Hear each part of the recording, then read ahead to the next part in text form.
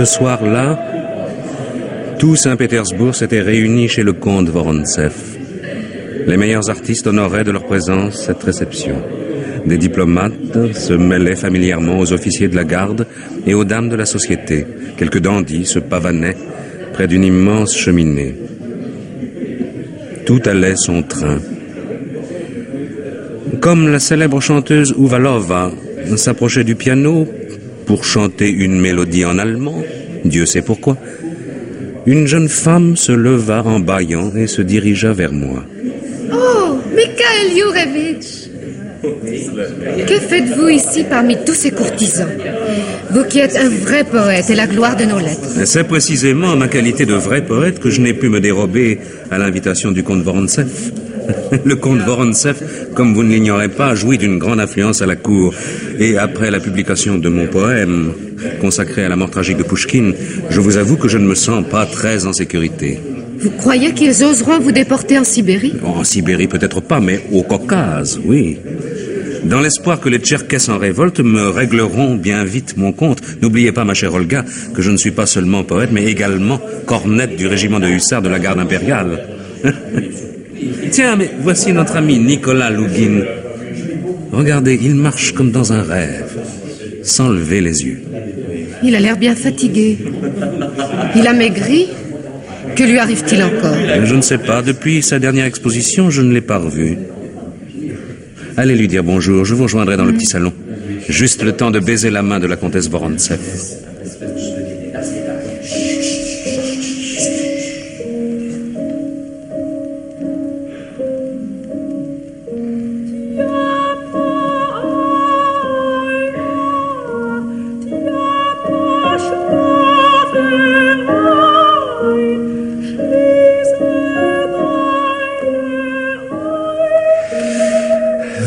Que est là, Olga Oui, oui. Mikhail Yurevitch nous rejoindra dans quelques minutes. Allons, tant mieux. Cette soirée s'annonce assommante. Nous avons eu tort de venir. Oh, pourquoi? Ici ou ailleurs, vous savez. Oh, vous avez raison. C'est la même médiocrité et la même suffisance. Pas d'élan de cœur, pas de sentiments nobles. On dirait que la Russie cherche à s'étourdir et, et cultive en secret le mépris envers elle-même. Il me semble que vous confondez la Russie avec sa bonne société, c'est-à-dire avec nous. Mais de toute façon, votre jugement est trop sévère. Oh, Dois-je en conclure que vous regrettez d'avoir abandonné la souriante Italie? Oh non. Non, vraiment, je ne le regrette pas. Si l'Italie m'a appris à peindre, en revanche, elle m'a fait beaucoup de mal. Comment cela, Nicolas? Oui, elle m'a rendu excessivement nerveux. Et exigeant envers les autres et envers moi, surtout envers moi. Savez-vous que je me trouve odieux, Olga Cause du suicide de la comtesse Nicolini? Comment? Non, non. Je n'y suis pour rien.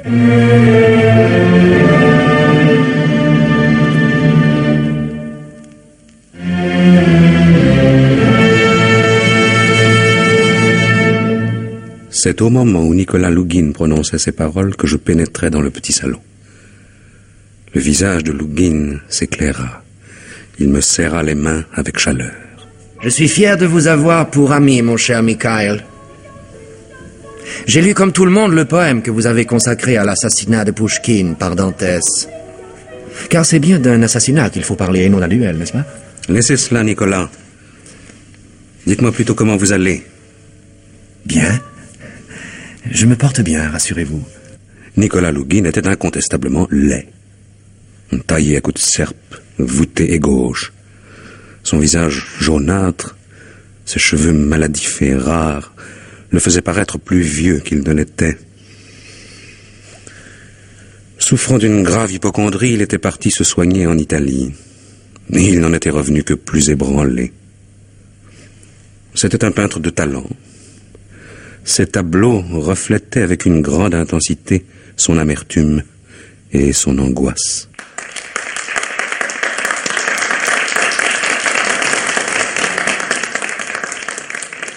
Je vais vous quitter, mes amis. Mais où allez-vous, Nicolas? Je ne sais pas, je ne sais pas. Faire un tour sur les quais de la Neva, peut-être.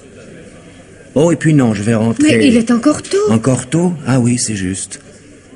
Ah, et comme je ne fermerai pas l'œil de toute la nuit. Savez-vous que je commence à perdre la raison? Qu'allez-vous imaginer? Là Vous êtes parfaitement lucide. Ah Vous croyez? Et cependant,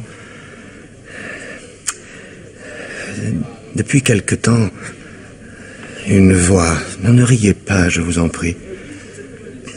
Oui. Une voix me chuchote à l'oreille une adresse.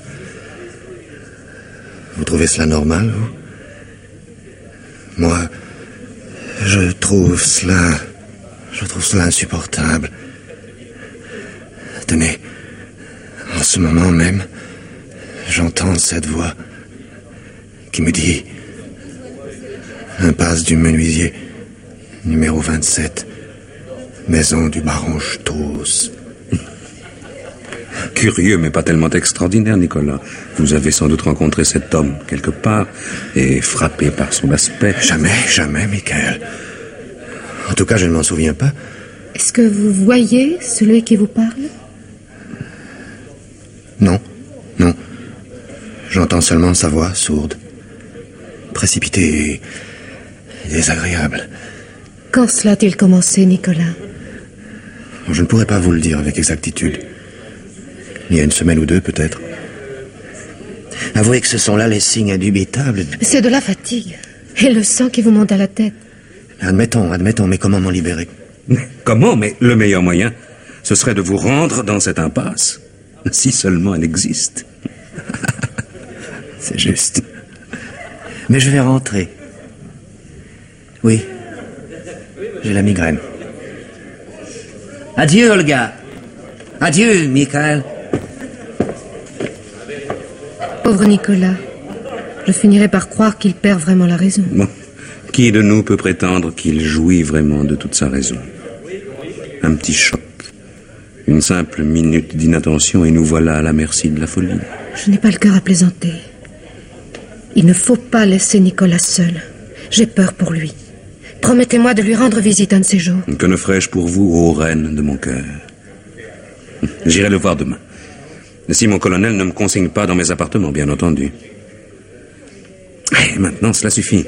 Cette histoire d'une voix qui vous souffle une adresse à l'oreille est d'un ridicule. Allons plutôt boire.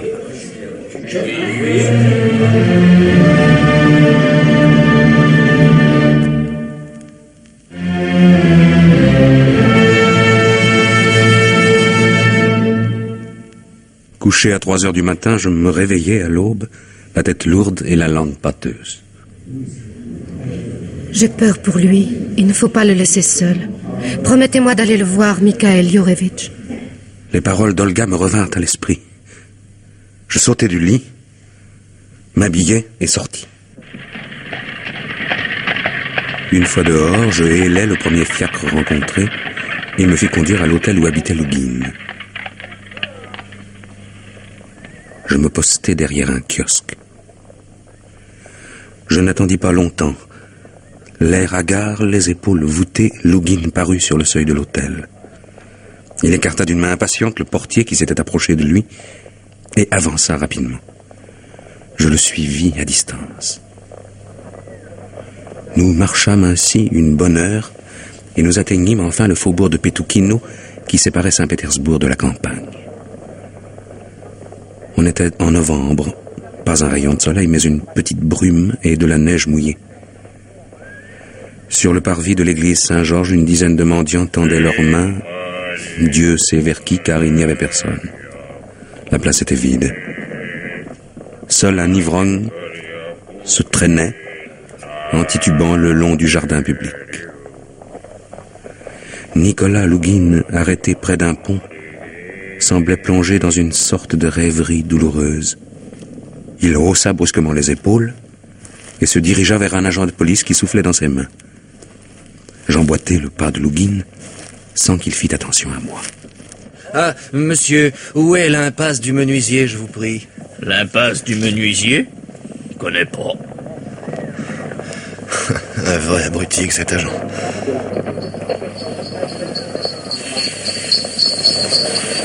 Hé, oh là oh, oh là, arrête, cocher Hé, arrête tes chevaux Ouais Excusez-moi, euh, sais-tu où se trouve l'impasse du menuisier L'impasse du menuisier Je ne connais pas. Allez, mes mignons Une, allez Encore un abruti.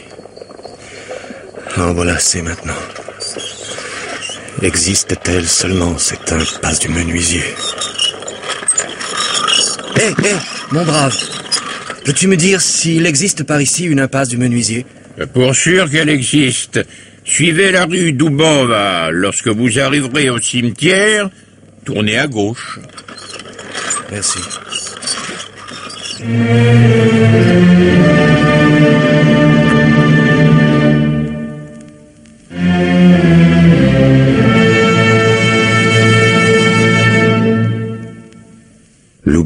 Tête basse, demeura un moment immobile. Comme il devait me l'avouer le lendemain, une peur irraisonnée s'empara de lui. Et le pressentiment d'un malheur lui serra le cœur. Dois-je poursuivre mes recherches? Ne serait-il pas plus sage de les abandonner et de retourner à la maison? Celui qui ne s'est jamais trouvé dans une situation semblable comprendra difficilement son état d'esprit. Il avait beau se dire que tout cela était absurde, insensé, il n'arrivait pas à faire taire cette voix sourde qui lui murmurait sans cesse à l'oreille. Impasse du menuisier numéro 27. La maison du baron Stos. Impasse du menuisier numéro 27. La maison du baron Stos. Impasse du menuisier numéro 27. La maison du baron Stos. Nicolas Lugin suivit donc le chemin que lui avait indiqué le vieil homme au chariot. Et moi, je suivis Lugin, craignant à tout instant qu'il ne m'aperçût. Nous pénétrâmes enfin dans l'impasse du menuisier. Une impasse avec un ruisseau au milieu et qui venait buter stupidement contre un mur. Toutes les maisons se ressemblaient. Elles étaient basses, ventrues et sales. Et elles ne portaient pas le nom de leur propriétaire. Visiblement déconcerté, Lugin marcha jusqu'à l'extrémité de l'impasse, jeta un regard sur la dernière maison et tressaillit involontairement. Bien qu'il ne l'eût jamais vue, il fut certain que cette maison était celle du baron Stoss. Un homme vêtu d'un cafetan crasseux balayait devant la porte cochère. Lugin s'approcha et engagea avec lui une des conversations les plus déroutantes que j'ai jamais entendues. Est-ce qu'il fait froid, là Et à qui est cette maison, petit père Vendue. Elle est vendue depuis un an, votre honneur. Mais euh, dis-moi, à qui était-elle avant Eh, à Monsieur Fédine Ce n'est pas possible. Elle était sûrement à Monsieur Stoss. Ah non, non. Elle était à Monsieur Fédine. Mais à présent, elle est à Monsieur Stoss. Enfin. Hé, hé, dis-moi, Monsieur Stoss habite-t-il ici? Non. En tout cas, je ne l'ai jamais vu. Tu ne l'as jamais vu? Mais qu'est-ce que tu me racontes là? Et qui te pète à gage? Personne Je les trouve chaque fin de mois dans la boîte aux lettres. ça, ça vous coupe le souffle, hein, votre honneur? Oh Ne retenant plus sa colère, Lugin leva sa canne, s'apprêtant sans doute à châtier l'insolent. Je me précipitai vers lui et le saisis par le bras. Il se retourna et dit, sans manifester aucun étonnement de me trouver à côté de lui, Ce drôle se moque de moi, Michael. à ma vue, ou plutôt à la vue de mon uniforme, l'homme ôta sa casquette et s'écria Dieu me soit témoin, votre noblesse, que les choses se passent de la sorte. Je, je n'invente rien. Lugin, de nouveau calme, mais tenace, poursuivit son interrogatoire sans plus s'occuper de moi. Alors cette maison est donc vide. Depuis des années, votre honneur. Et comment se fait-il que ni l'ancien propriétaire, ni Monsieur Stoss n'aient pensé à la louer? Oh, pour la louer, on l'a louée, mais... Et plusieurs fois. Mais personne n'est venu l'habiter. Et qui l'a loué le dernier? Le conseiller titulaire, Monsieur Palkin. Et pourquoi n'a-t-il pas emménagé? Parce que le jour où il devait s'installer, On l'a chassé du ministère et on l'a envoyé en Sibérie. Il paraît qu'il complotait contre le tsar. Bon, c'est bon, ça va, c'est bon. Et avant le conseiller titulaire Un, un, un gros propriétaire terrien. Oui, lui, il a réussi à emménager, mais on dit qu'il est devenu fou peu de temps après. Ce n'est rien. Non, ce n'est rien. Une simple coïncidence. Qu'en pensez-vous, Michael? Je pense que vous feriez mieux de rentrer et d'appeler un médecin. Vous n'êtes pas bien. Venez. Non, non, non. Ah non, je vais éclaircir ce mystère. Mais vous partez, partez. À mon âge, je n'ai plus besoin de nourrice. Dans ce cas, je m'en vais. Je ferai un saut chez vous ce soir. Je tournai les talons.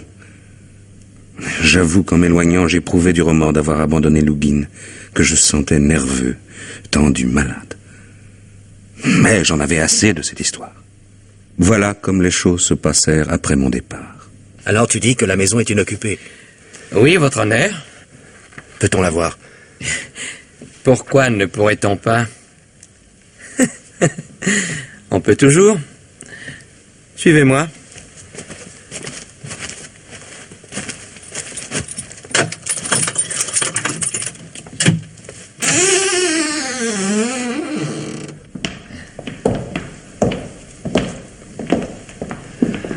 Oh, quelle odeur étrange. On dirait une odeur d'encens. Oh, Pensez-vous? Ce n'est rien, ça sent seulement l'humidité.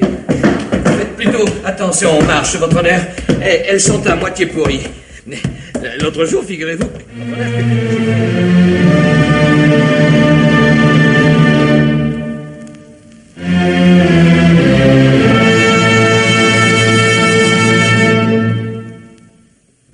Poussière épaisse recouvrait le mobilier vieux d'un siècle.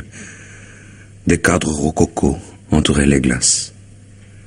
Tout cela avait un aspect désuet qui, Dieu sait pourquoi, plut à Lugin. Tout cela me plaît. Je loue la maison. Il faudra allumer les poêles. Tiens, celui-là est fendu. J'espère qu'il ne dégage pas de fumée. Oh À ce moment, il remarqua fixé au mur le portrait d'un homme âgé d'une cinquantaine d'années. Il tenait à la main une tabatière de dimensions extraordinaires. Des bagues aux pierres précieuses ornaient ses doigts. L'ironie et la méchanceté aussi étaient peintes sur le visage de l'homme. Ses lèvres surtout attirèrent l'attention de Lugin. Elles exprimaient une vie si intense qu'on n'en pouvait détacher le regard. C'est bizarre, pensa Lugin, que je n'ai aperçu ce portrait qu'après avoir dit que je prenais la maison. Il s'assit dans un fauteuil, croisa les bras et sombra dans une sorte d'inconscience. Eh bien, votre honneur? Ah, ah c'est toi. Qu'est-ce que tu veux Ah, Voilà une question. Si vous prenez la maison, il faudra que vous versiez des arts, non Oui, c'est juste. Tiens, prends ce billet de 20 roubles et va-t'en. Merci, votre honneur. Et une minute. Viens ici. De qui est ce portrait De qui voulez-vous qu'il soit De Monsieur Stoss, pardi. Et il l'a cloué au mur juste avant son départ pour l'Italie. Pour l'Italie. Et il paraît qu'il est allé là-bas chercher sa fiancée, une comtesse. Elle a dû se marier avec un autre, car on n'a jamais vu le bout de son nez par ici. Et Monsieur Stoss lui-même a disparu. Voilà. Et dis-moi, connais-tu le nom de cette comtesse? Non, votre honneur. Personne ne connaissait son nom. On disait seulement qu'elle était très belle. Mais, je vous quitte. J'ai de l'ouvrage. J'espère que vous vous plairez ici.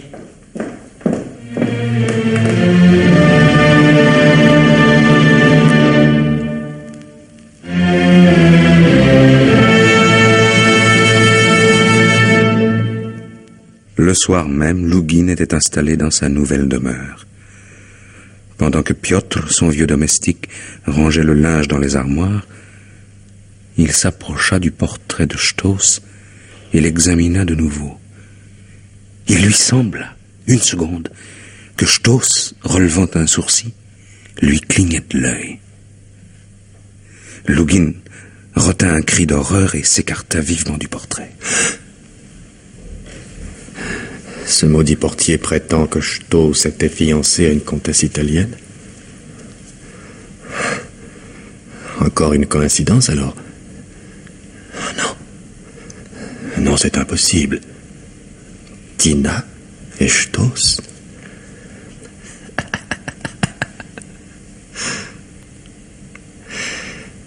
Oui. Maintenant, je me rappelle que Tina m'avait vaguement parlé d'un baron qui voulait l'épouser. S'agissait-il de Stoss Qui sait? Lugin revint sur ses pas et chercha la signature du peintre. À son grand étonnement, il lut mercredi. Quel jour sommes-nous, Piotr? Lundi, votre honneur. Alors, mercredi, c'est après-demain. Juste. Vous avez l'air fatigué, votre honneur. Vous devriez vous coucher. Oui, tu as raison. Je vais me coucher. Et qu'est-ce que tu as à me regarder ainsi? Va-t'en Va-t'en, je te dis, laisse-moi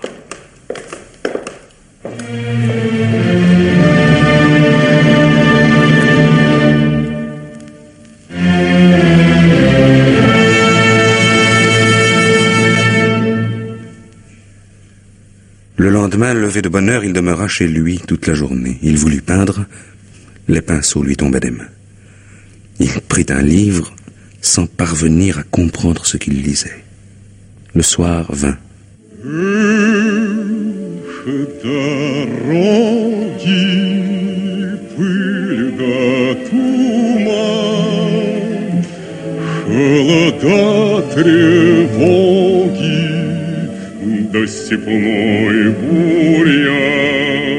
Lugin s'assit à sa table, alluma la chandelle et se mit à dessiner de mémoire les traits de la comtesse Nicolini.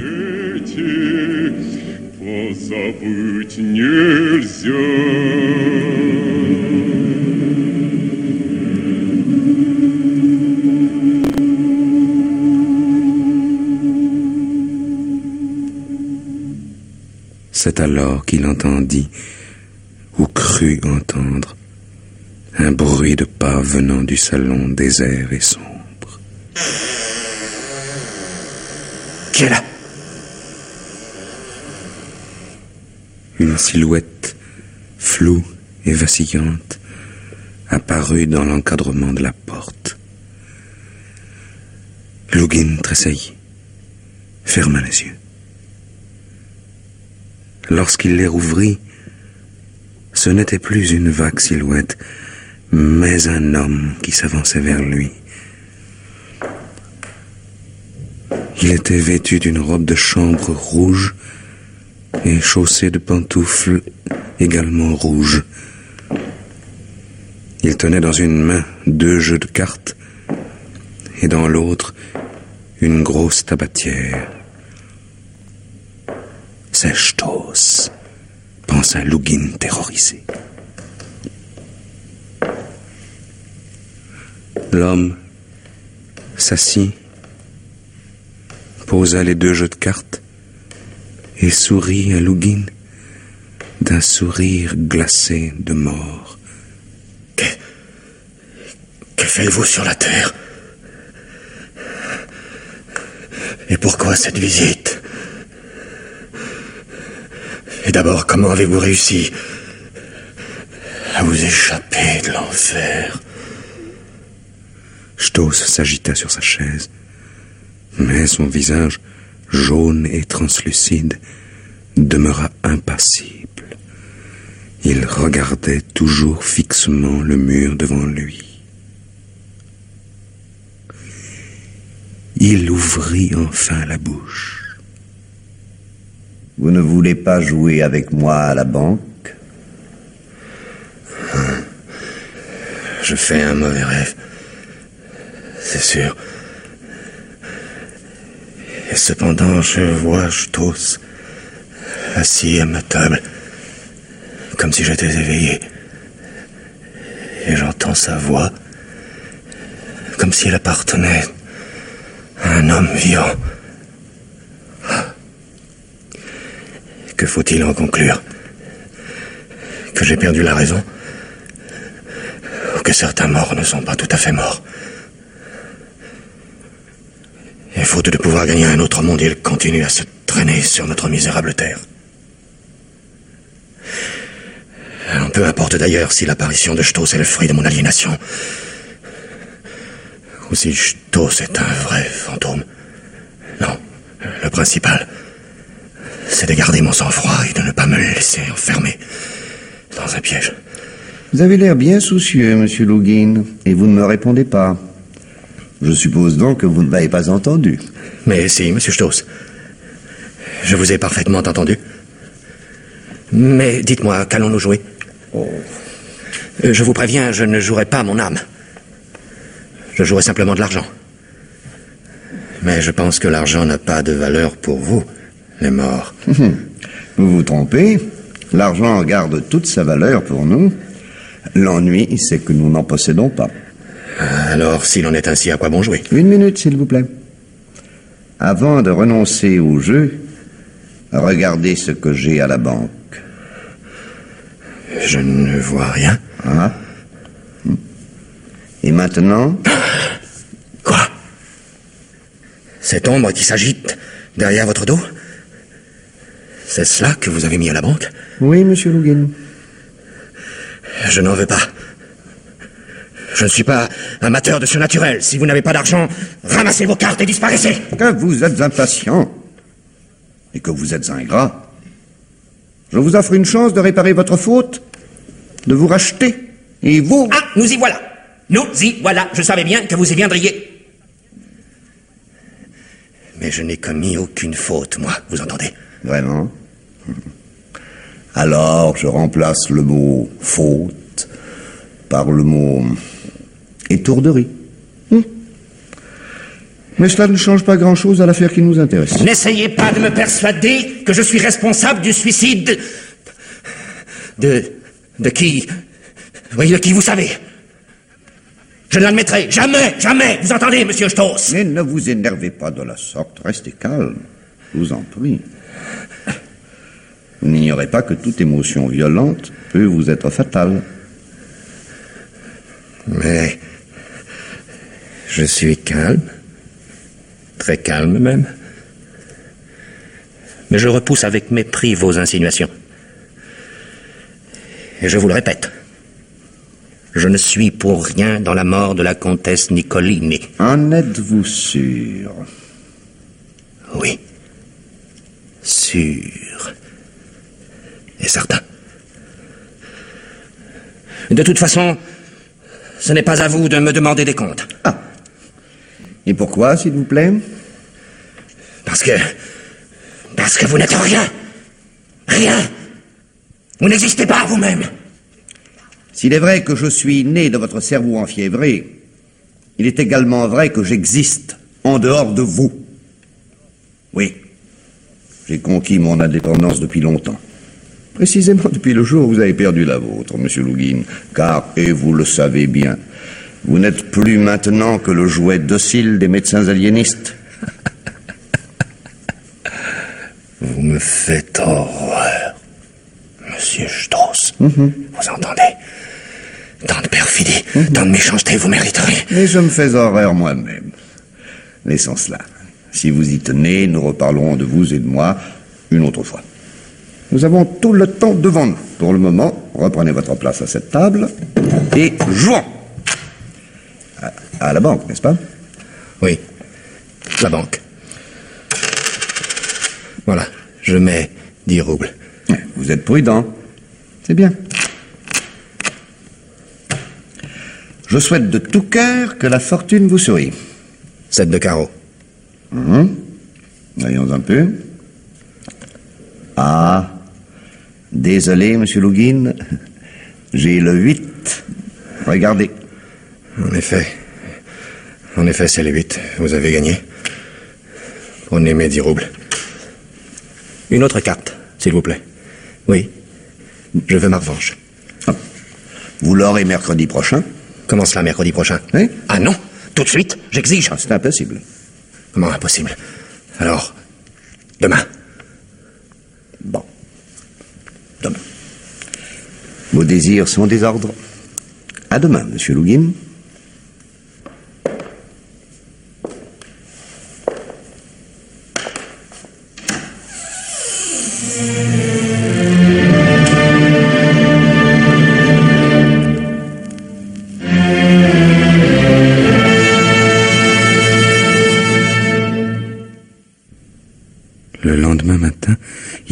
À personne de ce qui s'était passé, resta toute la journée chez lui et attendit le soir avec impatience. À minuit, Lougin alla fermer la porte du vestibule et passa dans son bureau. Stoss était déjà assis à la table. Il avait devant lui sa grosse tabatière et deux jeux de cartes. Permettez. Permettez, monsieur Stoss. Mais je n'ai pas peur de vous. Je veux bien jouer, mais au préalable, il faut me dire ce que vous avez à la banque. Autrement, je ne joue pas. Votre désir est légitime. J'aurais dû vous renseigner plus tôt sur ce point. J'ai à la banque l'âme de la comtesse Nicolini. Comment? L'âme de Tina? Vous êtes un misérable. Rien misérable. Non content de vous introduire chez moi sans y être invité, vous me narguez. Vous me torturez. Allez-vous-en Combien de fois dois-je vous répéter que Tina s'est suicidée parce qu'elle ne voulait pas, ne pouvait pas se contenter de ce que sa médiocre existence lui offrait? Je suis innocent, monsieur Stoss. Vous entendez? Innocent Innocent Vous croyez? Cependant, vous n'avez rien fait pour détourner Tina de sa fatale résolution. Vous souvenez-vous du 23 août? Elle s'est rendue chez vous ce soir-là. Elle était lasse, à bout de résistance. Vous voyez vous-même qu'elle ne pouvait plus échapper à son destin Si, monsieur Lougin. Tina n'avait pas encore pris la décision de se supprimer. La preuve, c'est qu'elle s'est ouverte à vous. Et comment l'avez-vous accueillie? Avec indifférence. Pour ne pas dire avec dédain. Puis vous vous êtes mis à exalter sans vergogne les vertus de la mort. Vous confondez tout à dessein. Vous êtes de mauvaise foi. Si je me suis mis à parler de la beauté et de la douceur de la mort, c'est que j'étais à l'époque, oui, fasciné par elle, moi. Mais c'est Tina qui est partie, et pas vous.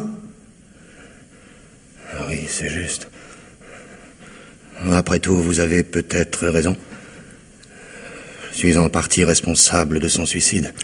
Content que vous soyez enfin rangé à mon avis. Et maintenant, jouons. À quoi bon? On ne plonge pas dans le passé comme dans une rivière. Je ne repêcherai pas, Tina. Vous, non. Mais moi, je peux le faire. Si vous gagnez seulement une fois, Tina reviendra à la vie. Tant de générosité de votre part me surprend.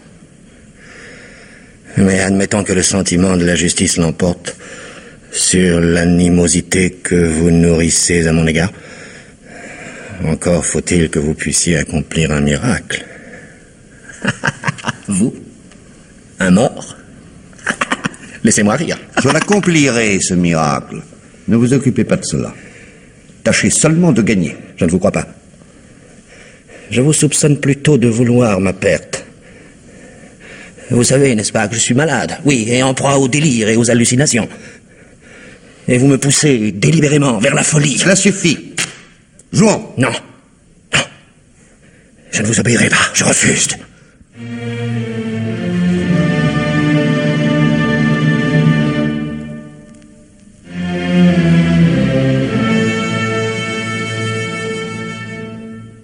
À ce moment, selon ses dires, Lougin entendit un léger frôlement, Puis, il sentit un souffle brûlant se poser sur sa joue. Il ferma les yeux. Lorsqu'il les ouvrit, il vit à côté de lui une jeune femme. Ses yeux étaient pleins de tristesse et ses lèvres tremblaient. Il en fut bouleversé. Ce n'est pas une créature terrestre, pensa-t-il. Ce n'est pas non plus un spectre vain et mensonger, comme ce misérable Stoss. Non, ses traits respirent la crainte, le doute, l'espoir. Maintenant, vous êtes convaincu que je peux faire revenir Tina à la vie, n'est-ce pas? Non, vous ne m'avez pas convaincu. Vous n'êtes qu'un charlatan, monsieur Stoss. Cette vision, pour belle qu'elle soit, ne ressemble pas à la comtesse Nicolini, ou si peu. Vous m'insultez inutilement. C'est bien Tina. Une Tina ennoblie par la mort, sublimée en quelque sorte. Regardez-la mieux. Oh mon Dieu. À présent, je trouve que cette jeune femme a dans son aspect quelque chose. Quelque chose de... Il n'empêche que vous me trompez. Vous me trompez. Ce n'est là que le reflet immatériel de Tinard que vous me montrez. Cessez d'ergoter. Essayez plutôt de gagner. Moi, je vous rendrai la comtesse Nicolini en chair et en os, telle que vous l'avez connue avant qu'elle ne sombre dans le néant. Et maintenant, jouons.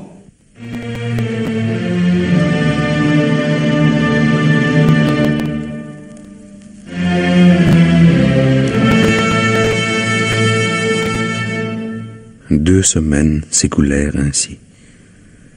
Login continuait à perdre, mais il était persuadé que finalement il viendrait à bout de Stoss.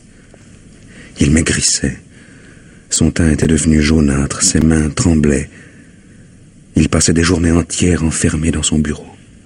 Souvent il ne dînait pas. Il attendait le soir comme un amoureux attend sa maîtresse. Maintenant Stoss était toujours accompagné de Tina. Il s'asseyait et se mettait à distribuer posément les cartes. Tina, elle, se plaçait derrière le dos de Lugin. Ce n'était plus une ombre fugace. Lugin percevait nettement les battements de son cœur et la chaleur de sa jeune poitrine. Elle semblait attendre avec impatience le moment où il l'arracherait à la terrible emprise de Stoss. Et chaque fois que Lugin perdait, la tristesse, le découragement se peignaient sur le visage pâle de Tina. Le dimanche 15 décembre, n'y tenant plus, il lança un vase à la tête de Stoss. Ce dernier se leva et le regarda avec apitoiement. Je crois qu'il vaut mieux que nous remettions à demain notre partie. Non. Jouons. Mais Stoss se contenta de hausser les épaules et disparut. Lugin, fou de colère, renversa la table, puis se dirigeant vers le portrait de Stoss, brandit ses poings.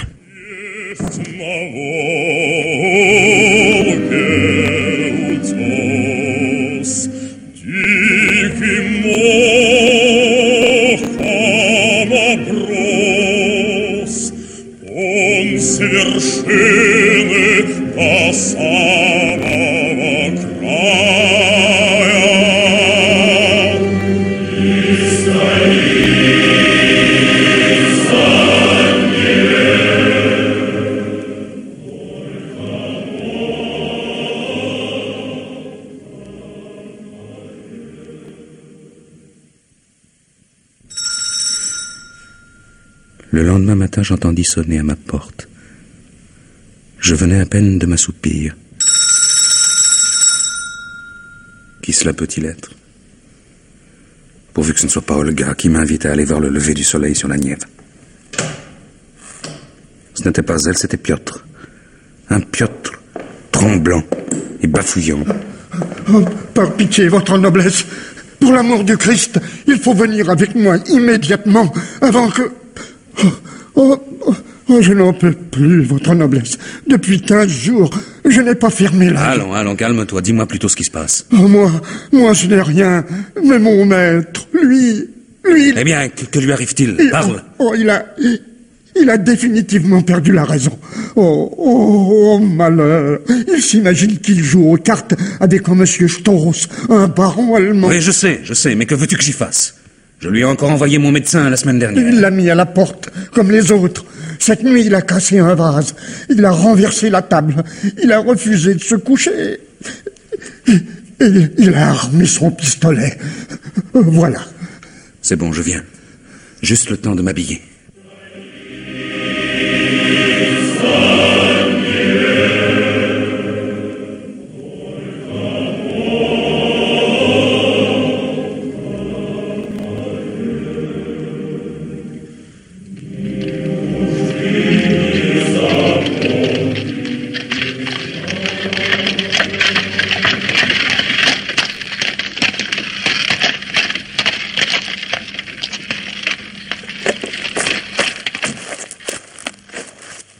Regardez la lumière, votre noblesse.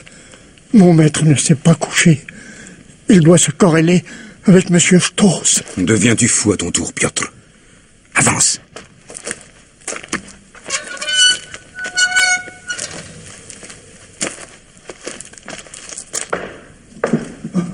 Il faudra peut-être y aller doucement, votre noblesse. Imaginez qu'ils nous prennent pour ce maudit baron. Eh, ne dis pas de bêtises.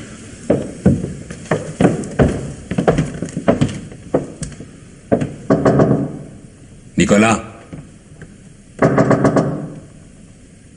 Nicolas, c'est moi. Je peux entrer? Ah, vous voyez, il ne répond pas. Oh Dieu, c'est ce qui se drame encore dans sa pauvre tête. Entrons. Tu as raison, Piotr, il ne s'est pas couché.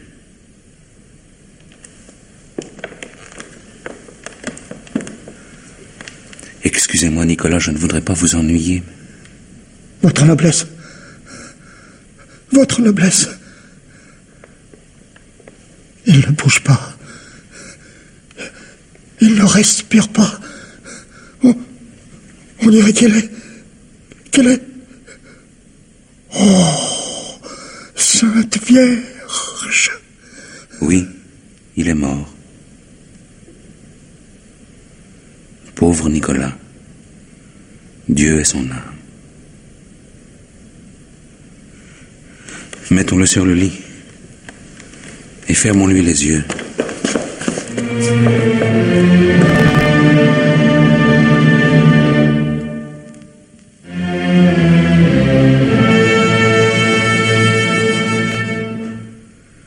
En effet, il était mort.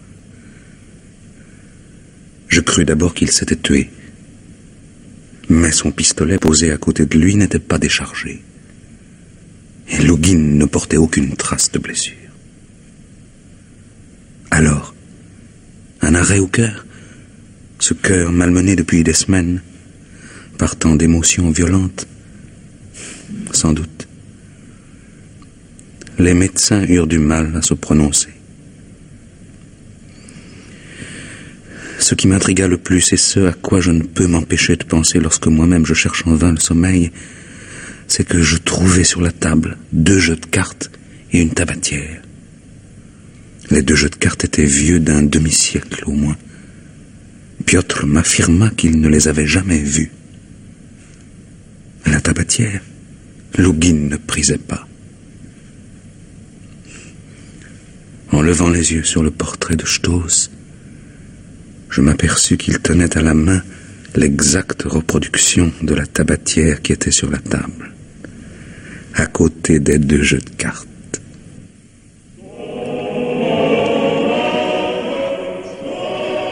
N'était-ce pas, pour le moins, étrange?